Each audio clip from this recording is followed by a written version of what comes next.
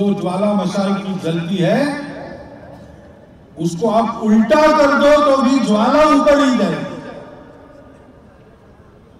उस ज्वाला के अनुसार, उसके ही जैसा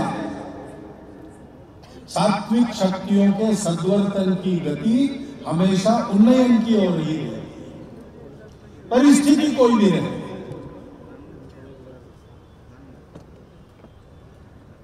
ऐसा काम होने की आवश्यकता है, तब दुनिया में, देश में सात्विकता की विजय होगी, धर्म विजय होगी। इस विजय का संकल्प लेकर कार्यकर्ता आज आपके सामने उपस्थित है। आपके सामने इनको उपस्थित इसलिए होना है कि हम सबका काम है।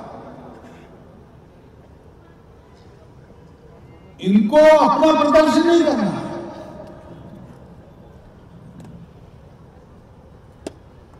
इनको अपने जैसा ही सारा समाज बना।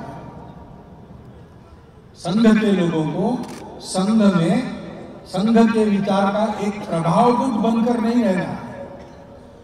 बहुत बड़ा संगठन बन के नहीं रहना। संपूर्ण समाज ही संगठित होने की आवश्यकता है। क्योंकि विश्व के सुख के लिए, देश के सुख के लिए, अपने सुख के लिए ये जो सात्विक परिवर्तन हम चाहते हैं, वह सात्विक परिवर्तन करने वाला कोई कॉन्ट्रैक्टर नहीं होता। अभी धन्यवाद ज्ञापन किया गया।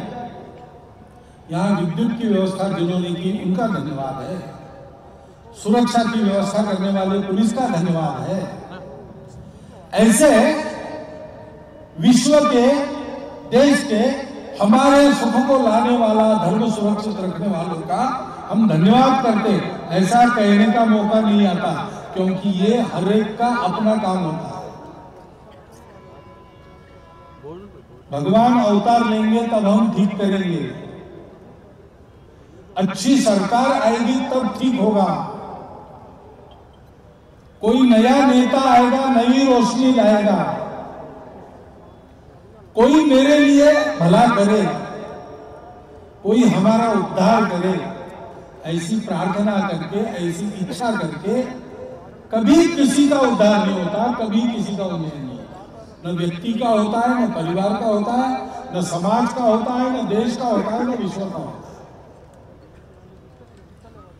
ये तो हम सबका काम है, हम सबको करना पड़ेगा। क्योंकि राष्ट्र के नाते, देश के नाते, समाज के नाते हम एक जीव है। हमारा एक, जिसको अंग्रेज़ी में कहते ऑर्गेनिक एग्जिस्टेंस है। की प्रार्थना में हम कहते हिंदू राष्ट्र के हम अंगदूत हैं। क्योंकि ये जो धर्म विजय का विचार है ये जो परस्पर के व्यवहार में प्रेम और संतुलन का विचार है, ये सभी का स्वीकार करना सभी सही है। हम मिलकर चलकर सबकी उन्नति करें, ये विचार है। इस विचार को दुनिया हिंदू विचार कहती है। वो भारत का परंपरागत विचार है। भारत की मिट्टी में जन्मे सभी विचारधाराओं का वो निष्कर्ष है। ईश्वर को मानने वाली विचारधाराएँ भी भारत से निकली ईश्वर को न मानने वाली भी निकली लेकिन उन सबका निष्कर्ष एक है। क्योंकि उन सबका सत्य एक है। वो सत्य क्या है? सभी समान है, क्योंकि सभी एक से निकले प्रचलित है वाक्य प्रयोग। विविधता में एकता बहुत अच्छा है।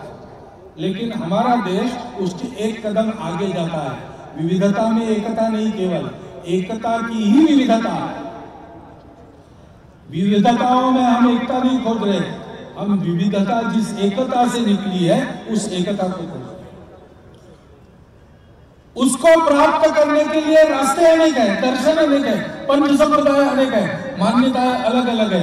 कदाचित परस्पर विरोधी भी होंगी, बिगड़ता नहीं, सबका निष्कर्ष एक है। सत्य अहिंसा परिग्रह अस्तेय ब्रह्मचर्य। तप शौच स्वाध्याय। ईश्वर प्रणिधान तप संतोष शौच स्वाध्याय ईश्वर। यम नियमात्मक दशम मूल्यात्मक जो आचरण है, दूसरे शब्दों में जिसका हमारे प्रभु पति जी ने भाषण में उल्लेख किया। ये बात हम कहते हैं, उसको विशद करते हैं, उसका मूल बताते हैं, उसके परिणाम बताते उसके लिए आवश्यक करणीय कार्य बताते लोग कहते हैं, आप हिंदुत्ववादी हो। हमारा देश परंपरा से हिंदुत्ववादी है। हमारे देश की सब बातें उसी को परिलक्षित करती है। कुछ बदलने की आवश्यकता नहीं है। मिलकर साथ चलो। भद्रता का पालन करो। नीति, नियम, कानून, अनुशासन, उसका बंधन पालन करो। उसके लिए अच्छे संस्कार।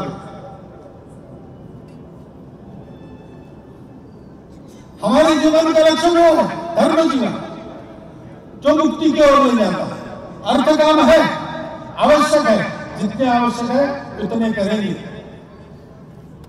मर्यादा के बाहर न जाए, इसलिए धर्म के अनुशासन में चले स्वयं उपभोग, स्वयं अर्थार्जन हमारे परंपरा की बिल्कुल अनुमति नहीं। है किसी भी प्रकार के स्वतंत्रता की। हमारे यहाँ अनुमति नहीं है। स्वतंत्रता की है, लेकिन स्वतंत्रता यानी स्वैरता नहीं। अगर एक ही आदमी होता दुनिया में तो वो स्वयं चल सकता था। बहुत मात्रा में। परंतु हम सब हैं। हम सबको जीना हम सबको रहना हम सबको चलना और इसलिए सबके हित के लिए आवश्यक नियम कानूनों का पालन करके चलना पड़ता है। अब ये बात कोई कहेगा तो इसका विरोध कहीं नहीं है। सार्वजनिक रूप से तो इसको कोई नहीं लगाता। और मानते भी सब होंगे, लेकिन इसका आचरण होना चाहिए। मुख्य बात वो है। क्योंकि ये बोलने की बात नहीं है। इसका आचरण होना चाहिए। सामान्य लोग इतना विचार नहीं करते। सामान्य लोग कहते हैं कि बड़े लोग जैसा करेंगे, हम भी वैसा खबरदार हिंदी न्यूज़ चैनल के साथ जुड़े रहने के लिए the Khabardar Hindi news channel को लाइक करें, शेयर करें, सब्सक्राइब करें। और अगर आप ये वीडियो फेसबुक पर देख रहे हैं तो फेसबुक पेज को लाइक करें। धन्यवाद।